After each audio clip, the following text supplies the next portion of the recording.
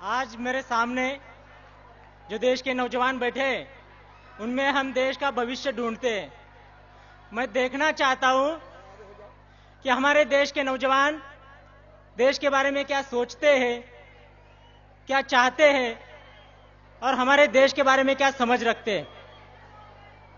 तब एक बात मैं आपके सामने रखना चाहूँगा।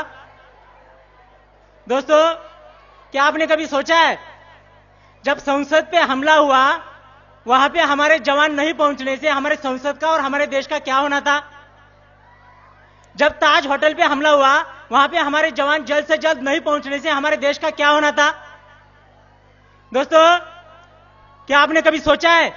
जब पाकिस्तान के पैट, पाकिस्तान पैटर्न टैंक लेके हिंदुस्तान के ऊपर आक्रमण कर रहा था तब हमारा अब्दुल हमीद नाम का जवान अपना सीना चौड़ा करके सरहद की रक्षा कर रहा था। और रक्षा करते समय उसने पाकिस्तान के सात पैटर्न टैंक उड़ाए थे। अगर वही पाकिस्तान के साथ पैटर्न टैंक हिंदुस्तान के अंदर घुसने से हमारे देश का क्या होना था, आपने कभी सोचा है? पाकिस्तान जम्मू कश्मीर के ऊपर आक्रमण करते हुए हमारे श्रीनगर तक पहुँचा था, तब हमारे मेजर सोमनाथ शर्मा ने अपनी सेना के साथ पाकिस्तान की सेना को जम्मू कश्मीर की सरहद के पार खदेड़ दिया था। पाकिस्तान की सेना को सरहद पार भेज दिया था। अगर वही सोम, मेजर सोमनाथ शर्मा नहीं होने से क्या आज हमारा जम्मू कश्मीर हमारे देश का हिस्सा होना था, क्या आपने कभी सोचा है? जब पाकिस्तान ने करगिल के ऊपर आक्रमण किया था तब हमारे हज़ारों जवानों ने बलिदान देके करगिल के ऊपर तिरंगा लहराया था। वही हमारे जवानों ने बलिदान नहीं देने से क्या करगिल हमारे देश का हिस्सा होना था? दोस्तों आपने कभी सोचा है? तब उनके सम्मान में मैं दो पंक्ति रहना रख, रखना चाहता हूँ दो पंक्ति कहना चाहता हूँ। और आपका हौसला तय करेगा आपका हौसला तय करेगा मैं आगे की बात आपके सामने रखूँ या नहीं रखूँ। तब मैं दो पंक्ति रखता हूँ। जिनके गर्म लहू के छीटे साहस की तहरीक बने, जिनके गर्म लहू के छीटे साहस की तहरीक बने, उनके जीते जी लोकतंत्र के मंदिर की प्राचीर बने। जिनके जीते जी लोकतंत्र के मंदिर की प्राचीर बने, और आज जवानों की कुर्बानी ने भारत का मान रखा, अपनी लाशें बिछा दी, उन्होंने ऊपर हिंदुस्तान रखा।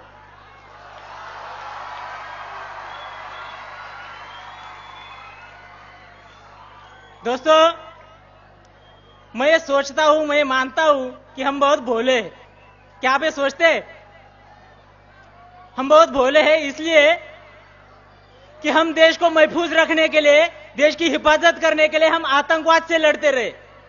देश की सुरक्षा करने के लिए हम माओवाद से लड़ते रहे, नक्सलवाद से लड़ते रहे। लेकिन हमें पता ही नहीं चला कि हमारे लिए, देश के लिए सबसे ज़्यादा खतरा उन आतंकवादियों से नहीं, उन नक्सलवादियों से नहीं हमारे देश के लिए सबसे ज़्यादा खतरा उन गद्दारों से है, उन देशद्रोहियों से है, जो भारत मुर्दाबाद के नारे लगाते हैं, जो हमारे देश में रहते हुए भी तिरंगे को जलाते हैं। कोई बोलता है अफजल हम शर्मिंदा है, तेरे कातिल ज़िंदा है। बुरा इस बात का नहीं लगता दोस्तों, लेकिन बुरा इस बात का लगता है, ऐसी बात करने वालों के पीछे हमारे देश में हज़ारों लाखों लोग खड़े हो जाते हैं, तब बुरा लगता है। मुंबई हमले का मास्टरमाइंड याकूब मेनन को फांसी की सजा सुनाई दी। जब उसे फांसी की सजा सुनाई दी, उसमें कोई बुराई नहीं। लेकिन बुरा तब लगता है जब आतंकवादियों के जनाजे में हमारे देश के लाखों लोग जनसैलाब उमड़ पड़ता है, तब बुरा लगता है। दोस्तों, हमारे देश की सरहद की रक्षा के लिए हमारे जवान हर दिन शहीद होते हैं, लेकिन तब हमारे देश के अंदर कहीं आवाज़ नहीं उठती। लेकिन जब हिंदुस्तान की सेना पाकिस्तान में जाकर सर्जिकल स्ट्राइक करती है तब वही हमारे देश के हज़ारों लोग हमारे सेना के पास सर्जिकल स्ट्राइक के सबूत मांगते हैं तब बुरा लगता है। दोस्तों संसद हमले का मास्टरमाइंड अफजल गुरु को फांसी की सजा सुनाई जा, दी जाती है उसमें कोई बुराई नहीं कोई दोहराई नहीं। लेकिन बुरा तब लगता है जब हमारे देश में उसके लिए शोक मनाया जाता है जम्मू कश्मीर में उसके लिए बंद पुकारा जाता है और जेएनयू यूनिवर्सिटी में उसके लिए श्रद्धांजलि दी जाती है, तब बुरा लगता है। दोस्तों, और कोई हमें सिखाने की बात करता है कि वंदे मातरम बोलना संविधान में कहा लिखा है? राष्ट्रगान के लिए खड़ा होना संविधान में कहा लिखा है? उनको मैं बताना चाहता हूँ, संविधान में चड्डी पहनना कहा लिखा है? फिर भी तो आप पहनते हो। कोई बोलता है, हम भारत माता की जय नहीं बोलेंगे? मैं उनको चेतावनी देना चाहता हूँ। अगर इस देश में रहना होगा, भारत माता की जय कहना होगा।